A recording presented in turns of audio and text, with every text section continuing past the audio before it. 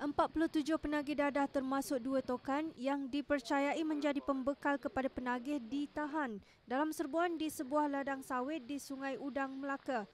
Operasi bermula 6 pagi dan berakhir 8 jam kemudian itu antara yang ditahan termasuk seorang lelaki berusia 56 tahun tidak pernah serik apabila sekali lagi dicekup bersama 75 paket kecil heroin.